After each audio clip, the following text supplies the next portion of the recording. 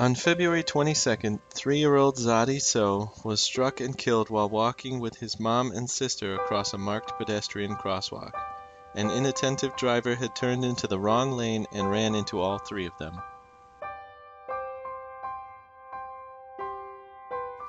Zaadii's Eulogy, delivered by Robert Cox, Zaadii's grandfather. My grandson Zaadii was a wonderful, mischievous, adventurous, and very fine fellow. He was fearless and courageous. He was Batman, and we all loved him with all our hearts. He never took that costume off except under great pressure from the day it arrived the week before Halloween, and he was wearing it as he held his mother's hand walking across the street that awful Sunday. When we took him to his first swim lesson, he jumped into the water and sank like a stone. The teacher pulled him up, and Zaadii shook his head and went right back again and again. When it snowed, he went sledding. He wouldn't let his father hold him. He sled solo, recklessly down the slopes, and was angry at the sun for setting and ending this day.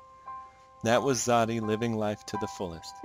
He never knew the dreary, dull disappointments of paying bills or not getting a promotion or losing at love. His life was one constant adventure and exploration bathed in the love of the two finest parents and finest sisters a boy could have. His father Francis said it best. He had a perfect life. He didn't know pain. The doctors tell us the impact took his consciousness, and he never suffered. It is for those of us who remain to suffer and feel the pain. And because he was loved so much, our pain will be immense.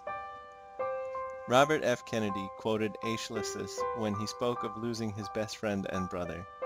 In our sleep, pain which cannot forget falls drop by drop upon the heart, until in our own despair, against our will, comes wisdom through the awful grace of God. My daughter and my beloved son-in-law will survive because of the boundless love of their wonderful family and friends to whom I am so grateful. When Rachel was getting married, I didn't want her to go so far away but over 20 years I have come to admire and cherish her many friends, and to love very deeply her wonderful Navajo family.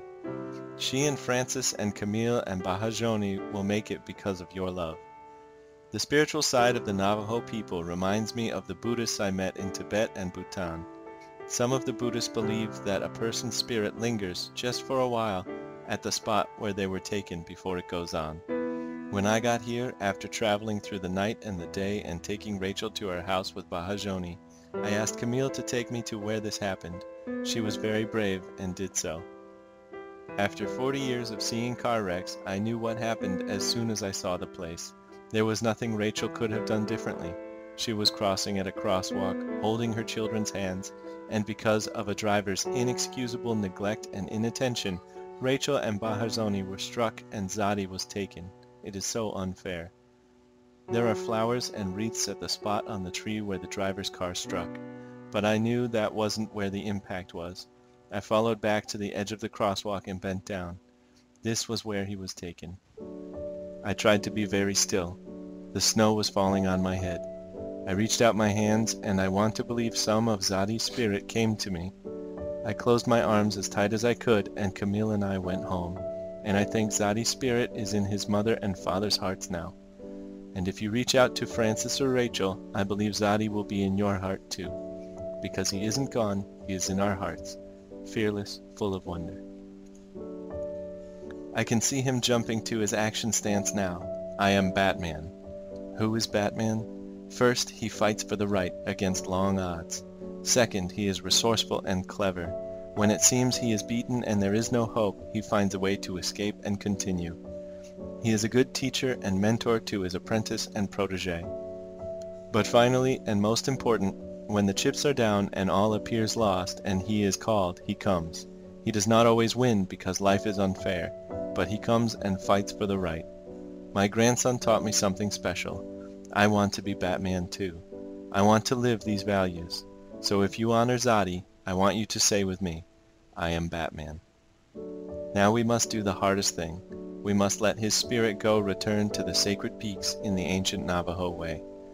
But Zaadii will do one last amazing thing. He will teach us that the love of a family is more important than anything.